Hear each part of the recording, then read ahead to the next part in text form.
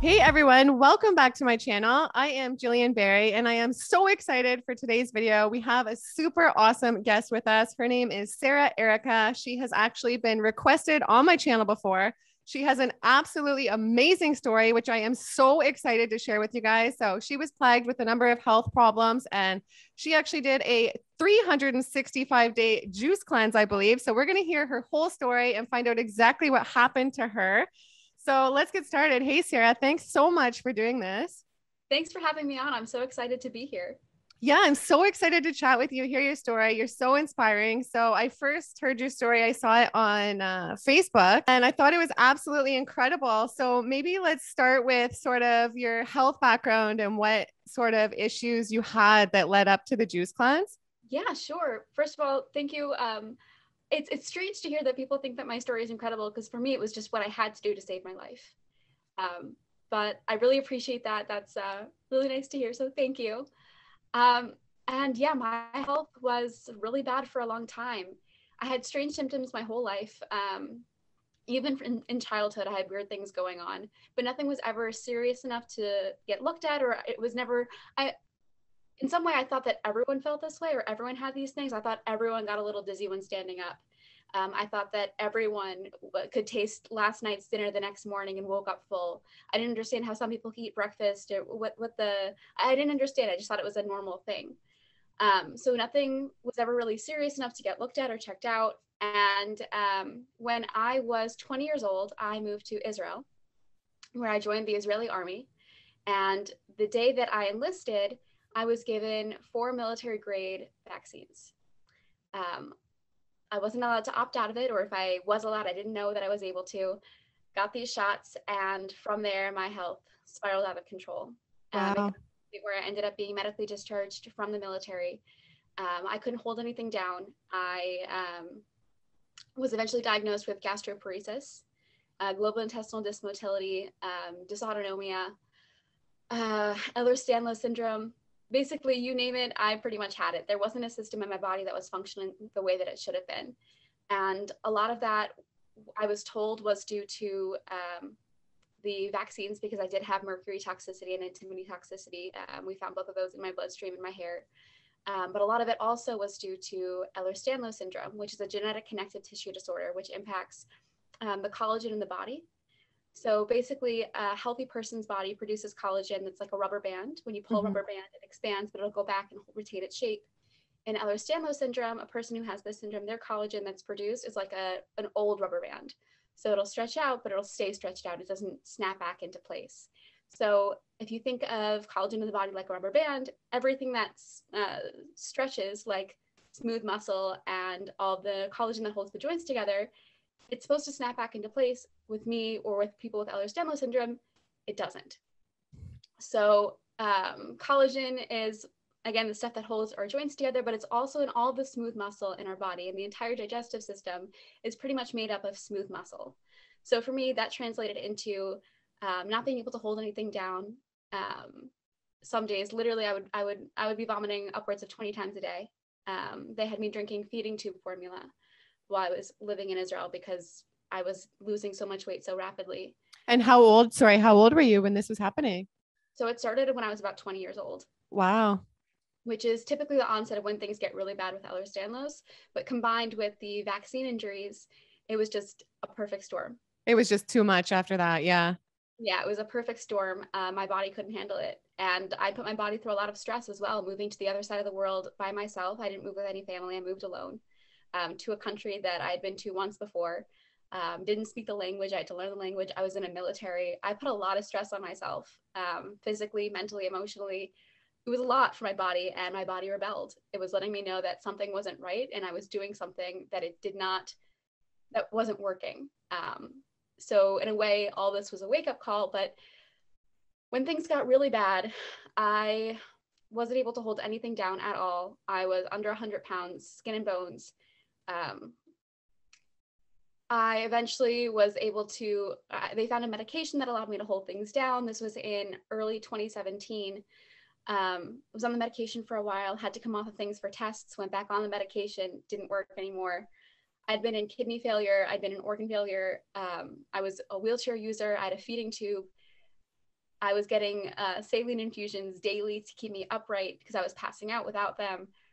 It was not pretty. It was not a pretty situation at all. And I'd been told multiple times that I wasn't going to make it. Wow. In fact, the catalyst for wanting to change came by a doctor telling me that I should wrap my pretty little head, just like that. He said, I should wrap my pretty little head around the fact that I'm just going to be sick forever. Wow. And feeding tube until my intestines shut down because he told me they will shut down and then I'll have a central line to my heart to feed me. But because I'm such a high risk of infection, it's not going to last long, and I'm just going to die early. And I should give up, and I should stop fighting it. And did you believe that? Because I know when you, I know like if you're just uh, like I know a lot of times people will just believe what they say, right? Did you believe that inside, or did your gut kind of tell you maybe you could like survive and get through this? At first, I did believe it, um, and I just I stopped. I stopped trying things. But my mom, um, she came with me to all my doctor appointments. I wasn't well enough to drive. I barely had any memory function of my own. So my mom was taking notes, asking all the questions. She was my biggest advocate. She reminded me that um, I never liked listening to authority before. So why was I about to start? what a cool mom. That's great. yeah. Yeah. She's like, Sarah, you you don't listen to it. Like authority is not your thing. So why are you listening to this guy when he's telling you that you're gonna have the worst life imaginable? No, you're right. You're right. So I like to say that I actually got healthy out of spite to prove this guy wrong. Mm. But um, around that same time, I had learned about juicing actually from my geneticist. I saw a geneticist for the Ehlers-Danlos syndrome, and she was telling me that um, she was a Gerson certified practitioner. And the Gerson therapy, for those who don't know about it, um, it's a really powerful healing protocol, specifically those for people with cancer. And she recommended that I do the juices and the special soup from the protocol because I couldn't handle the solid foods. Well, I hated the soup, but I loved the juice. So I just started juicing. And then I started going on Instagram and looking at people who juiced.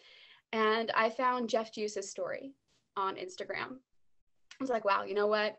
If he can cure himself through a 90 day juice fast, I wonder what I can do in 100 days. So um, I originally, my original plan was to juice fast, and this was in November of 2019. Like, and sorry to interrupt for a sec. Sorry. Mm-hmm. Um, so Jeff, I've never heard of him. What did what kind of health problems did he have? Jeff was diagnosed with um, Crohn's disease. Okay. And he killed himself with a 90 day juice fast. Cool. Okay.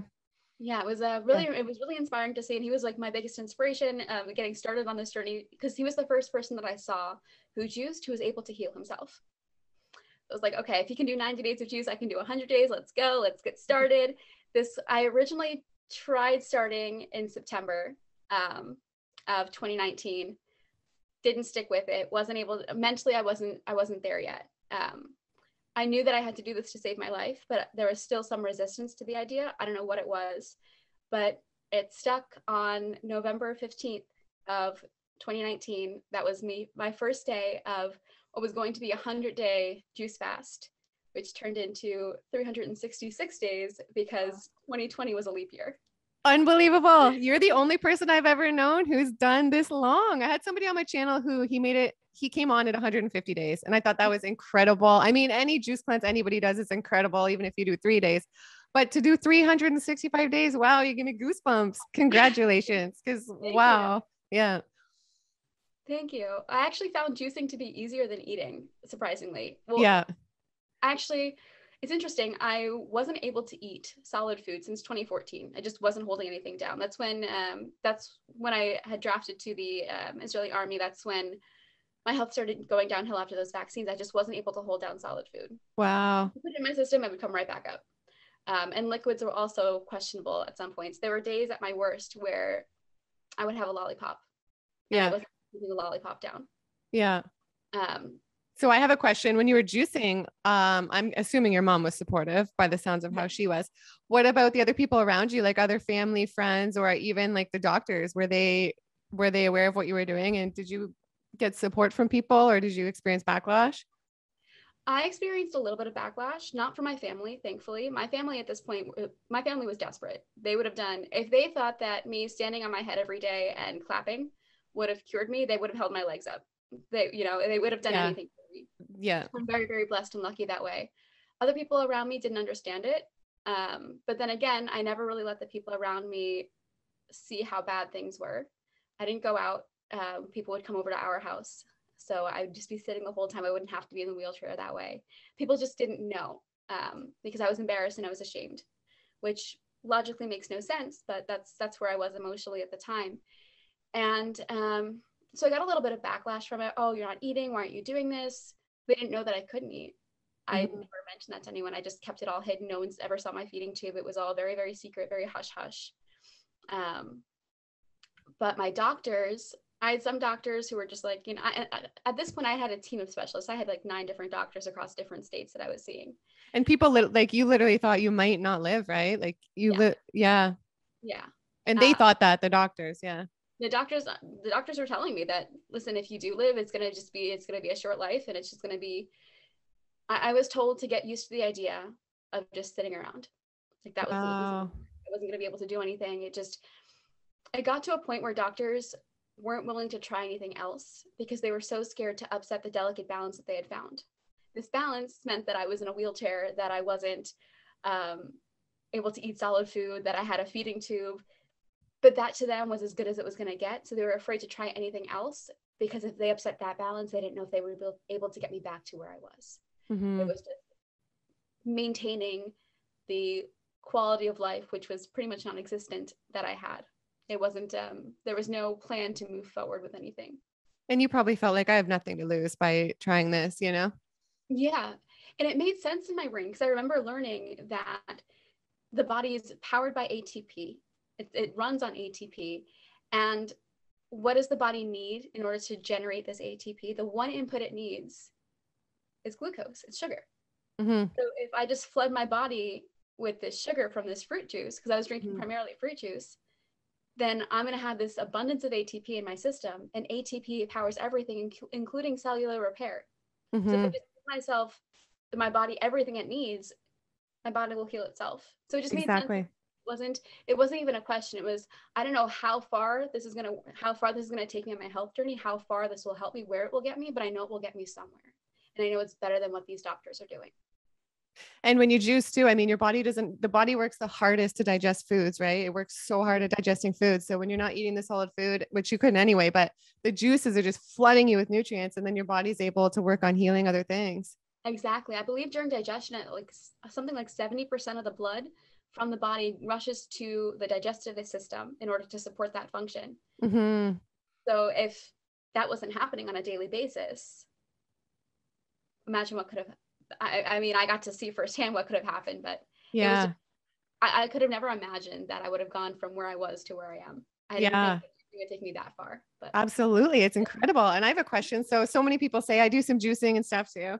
Um, mm-hmm. so many people say, what about all the sugars in fruit juices? Like, aren't the sugars bad for you? So, what do you say? I'm sure people have asked you that. What is your response to that?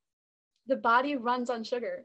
That's, mm-hmm. that's ATP is what powers the entire body. Everyone's heard from science class the mitochondria is the powerhouse of the cell.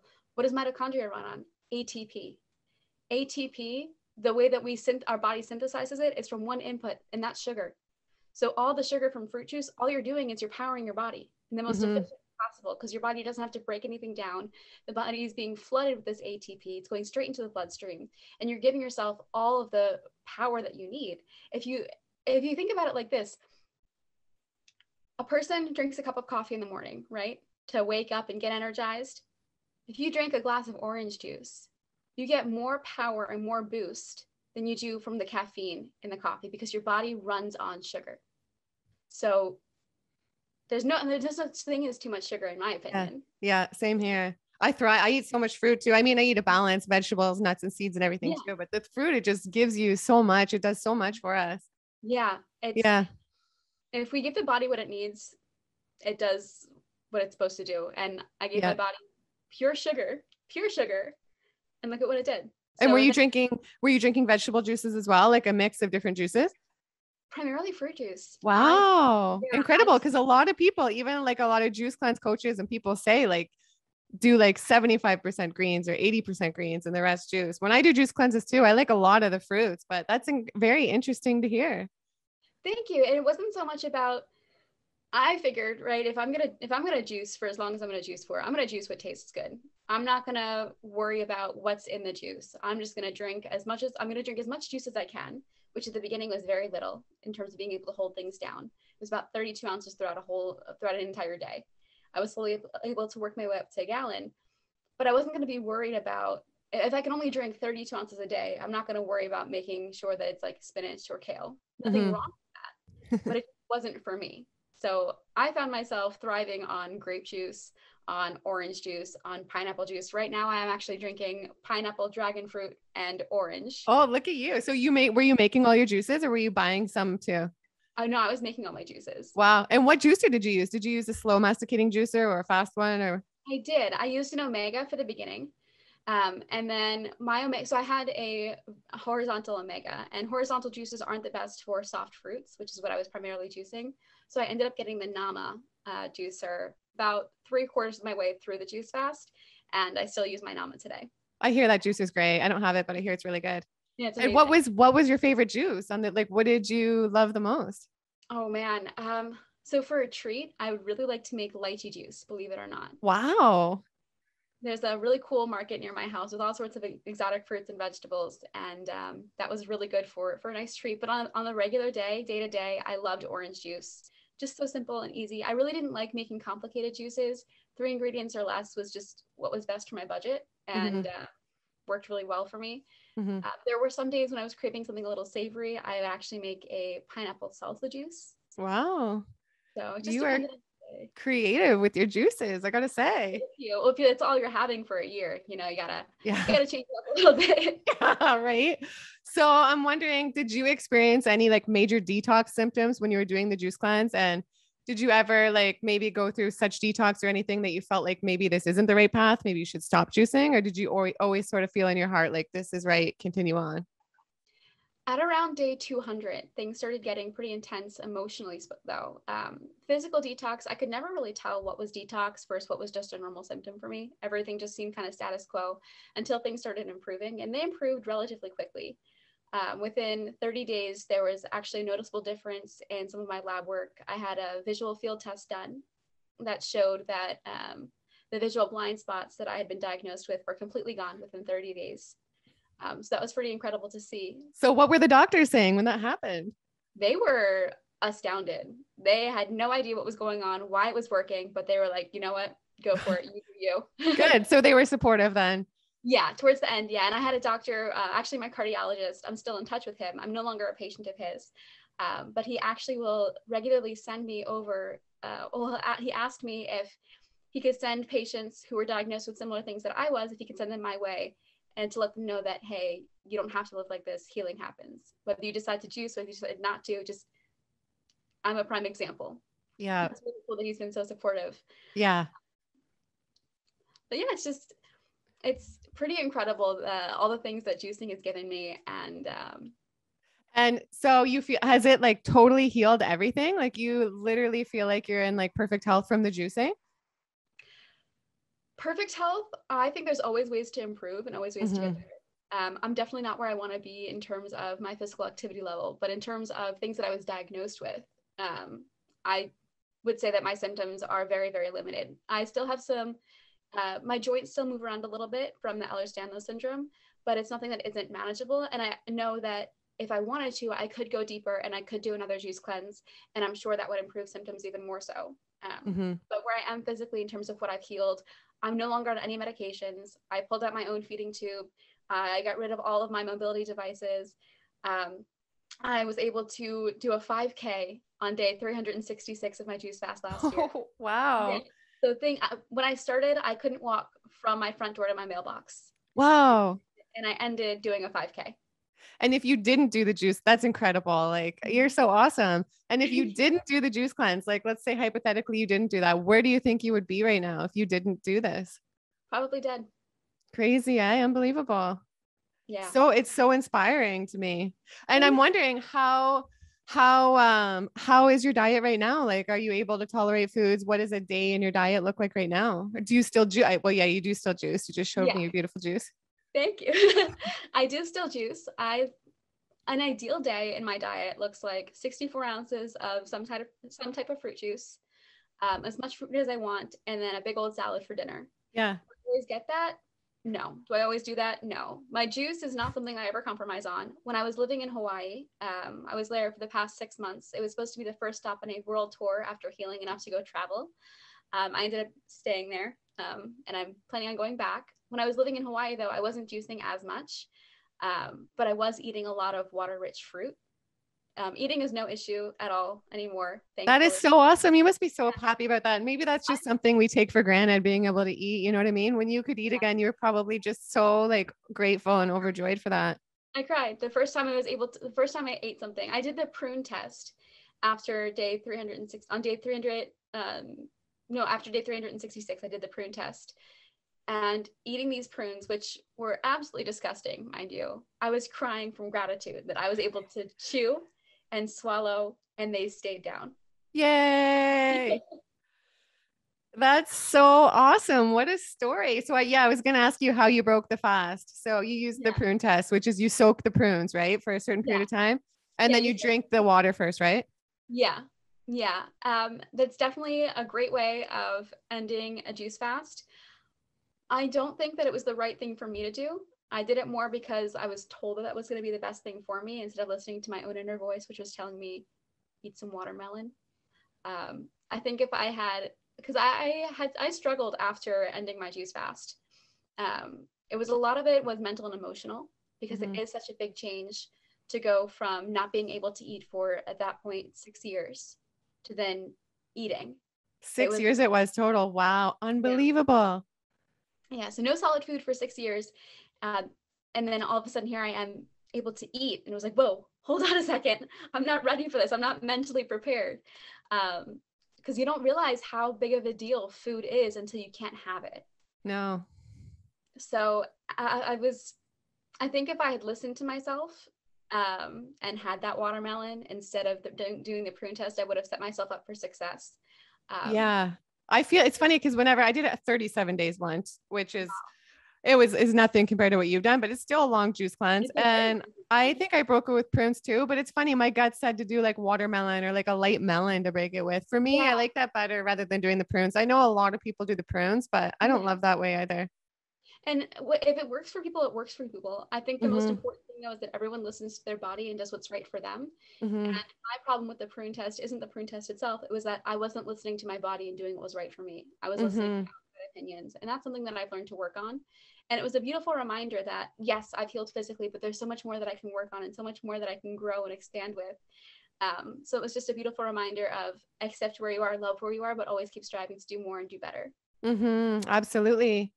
And I'm wondering if somebody is struggling with some health problems right now and they're interested in juicing and they want some direction like what advice would you give them as to like how to start a juice cleanse i feel like you are just the queen of juice cleansing do you have a book or like do you have a book or anything so i do have a, res- a juice recipe ebook available okay. on my website and i'm actually okay. writing a book right now about my my juice story amazing thank you thank you um, I do think though the biggest piece of advice, I, I have two pieces of advice um, in terms of juicing.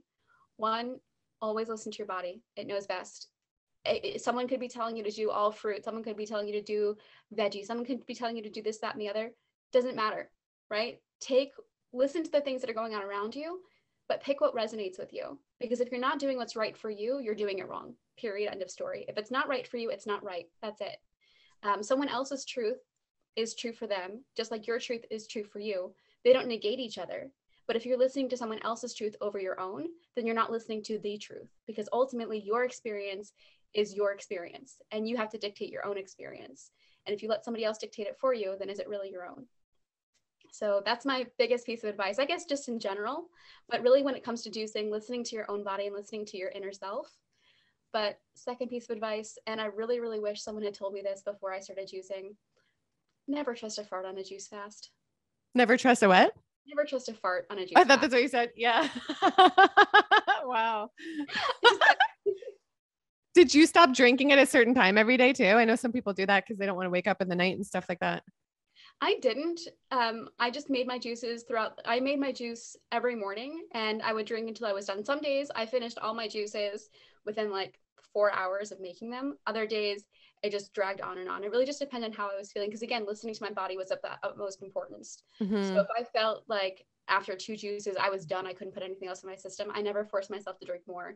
And if I finished all four juices for my all um, the entire gallon of what I prepared for myself, and I wanted more juice, I made more juice. It was mm-hmm. never you have to be done by a certain time. You have to start by a certain time. You have to drink yeah.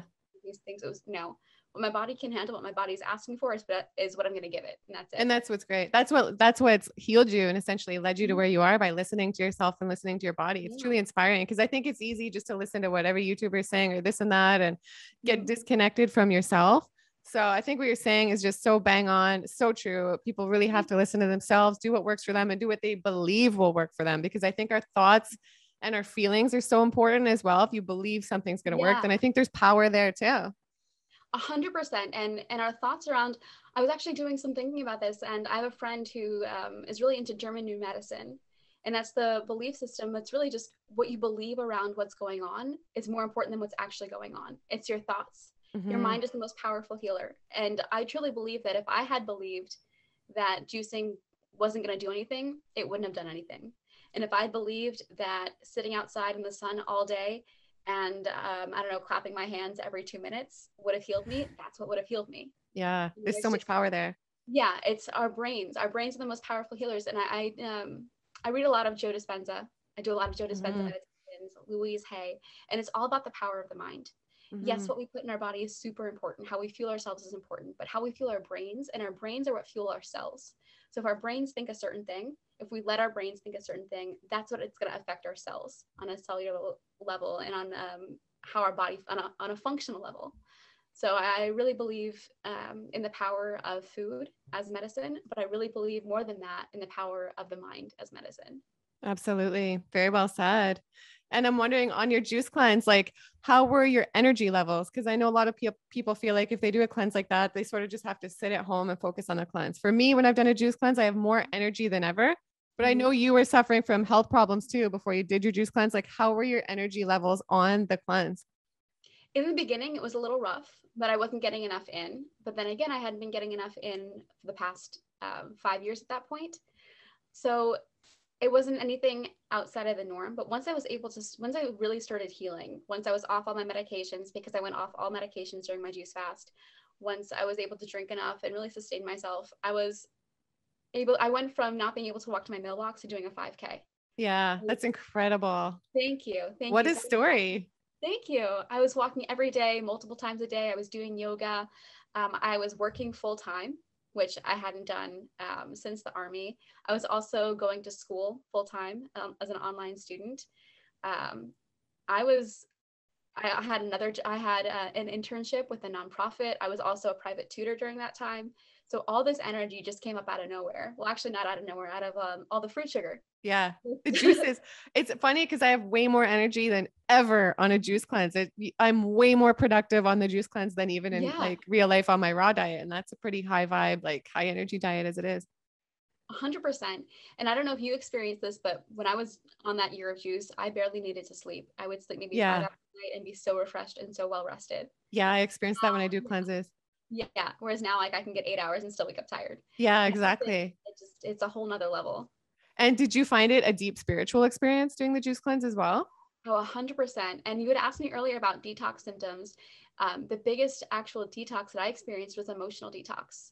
Around day 200, things started looking really, really bleak emotionally. Um, there were days where I just didn't want to get out of bed, and there were some days that I didn't.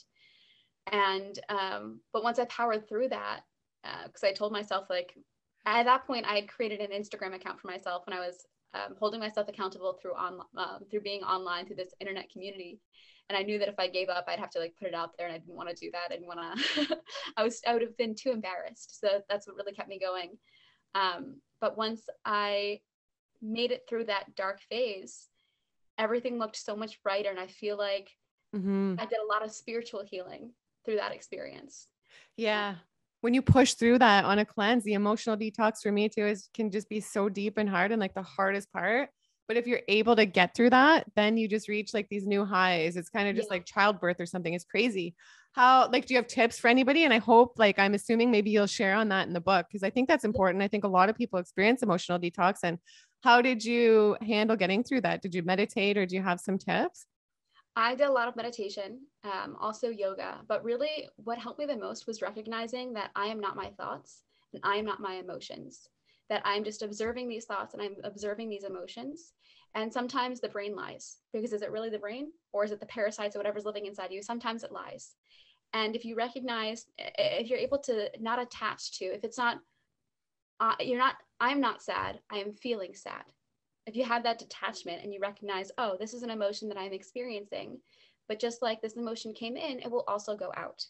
So just letting it flow, letting it breathe, and not trying to change or control any emotions either. When I was feeling really, really low, I remember I was trying so hard to make myself happy, and that wasn't working because I was fighting and I was resisting. The more you resist something, especially when it comes to emotions, which are just energy and motion, the more you resist, the tighter they're going to hold on because they're there for a reason.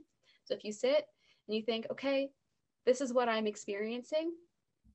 Thank you for thank you for whatever you're here to teach me. I appreciate the lesson and just sit with it and let it flow. It'll flow out on its own. So true. You're gonna have the most amazing book ever. It's so you're so well spoken. It's so true. And I love how you said like, I am not sad. I am feeling sad. Mm-hmm. It's beautiful.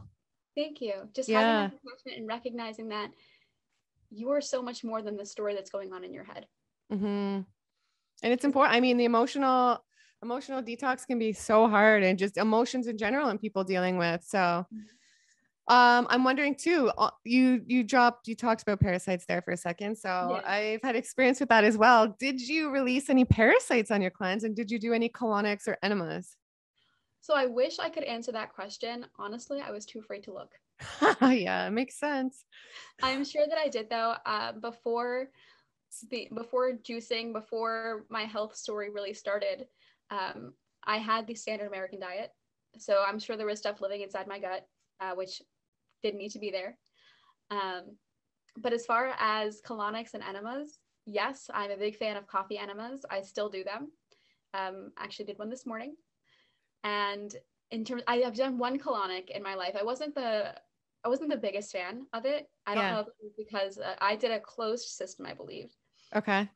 it was because of the type of system that I did. It wasn't I wasn't the best experience I've had, but I really enjoy coffee enemas. I think it's a great way to start the day for me personally. Just knowing that I'm allowing all these things to flush out of me, it's pretty powerful.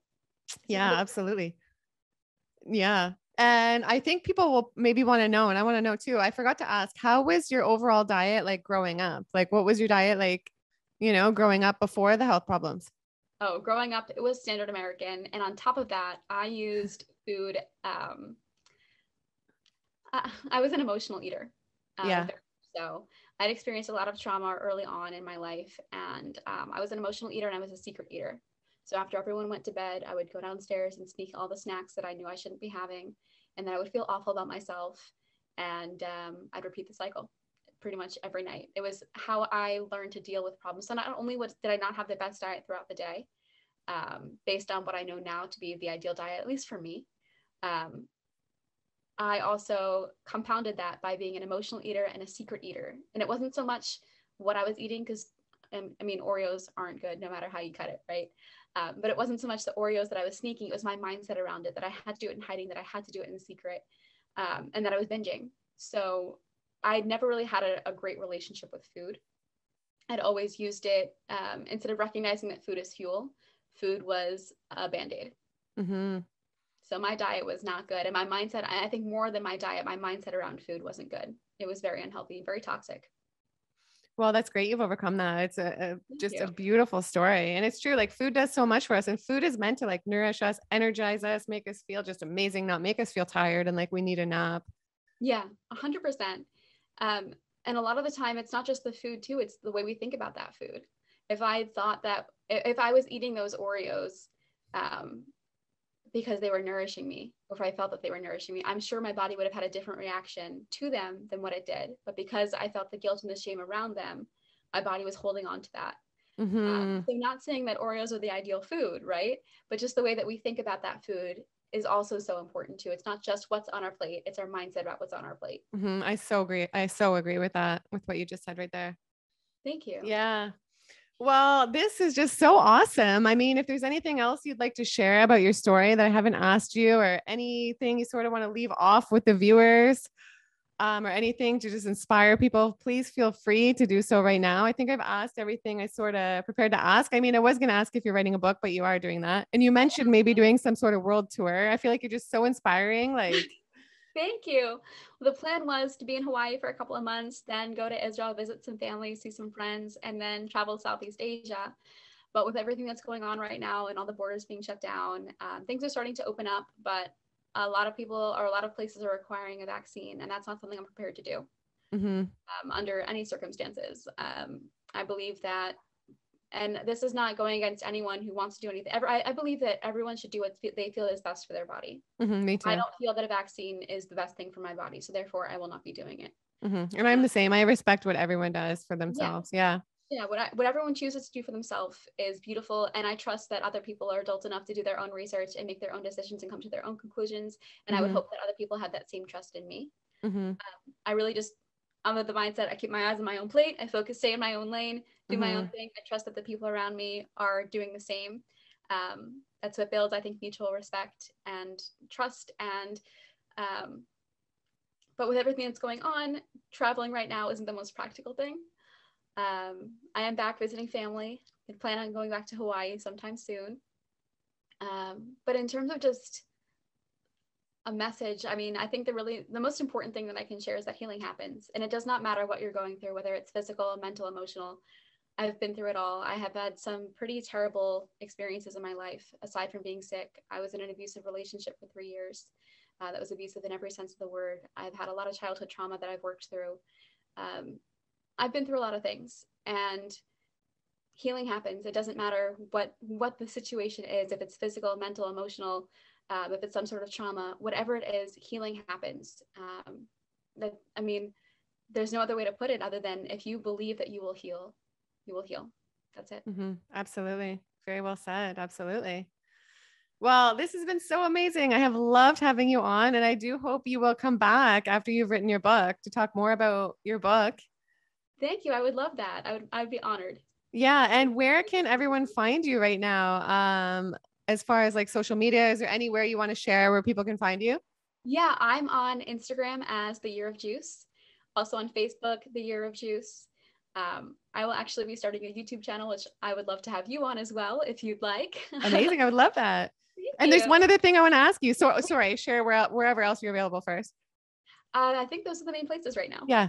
Okay. Awesome. And so just so now you sort of are on a mostly raw vegan diet, it sounds like, right?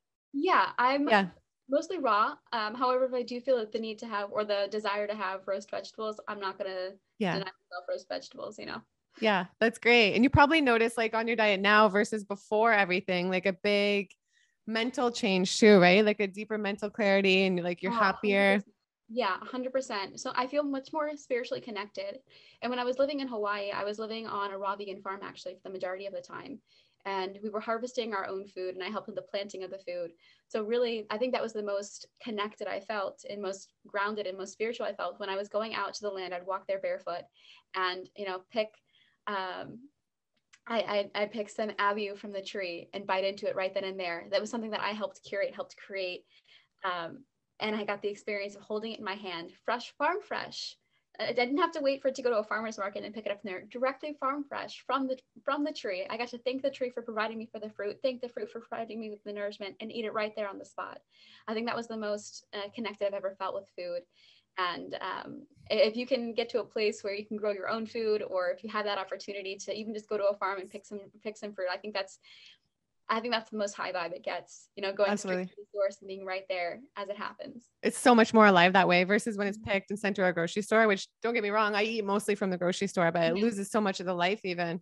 Yeah, that's I, I've noticed that as well. And the quality of produce is just so different. And I feel like in order to have, you need to eat so much more um, because the quality of the produce is dramatically reduced. That's something I've been struggling with too, figuring out that balance of knowing that there are some fruits and vegetables that are better in terms of quality of, of the produce based on where it's grown and the, and the type of soil that it's in, but it's also being trucked in from far away. So the impact on the environment and trying to find that between everything. Yeah. that yes, I need to take care of myself, but I'm also part of a system. And How do I take care of the system best, other than just you know moving back and growing food on my own land? Yeah. Well, I feel like there's just so much to come for you, and I feel like this has kind of led you down that path. And you look amazing, and you have such a good vibe, such a good energy, and you're just like a ray of light. I can't help but smile just when you talk. So you're contagious, and you're amazing energy. Wow, thank you so much. That's so kind of you to say. It's so true. So I truly appreciate you being on and sharing your story. It's been so nice talking to you. I've loved it. So we will end it off right now. And thank you guys for watching. I do hope you guys gained value from this. Make sure you do hit the like button, give me a subscribe because I create great videos just like this one every single week. And I will see you guys in the next video. Bye.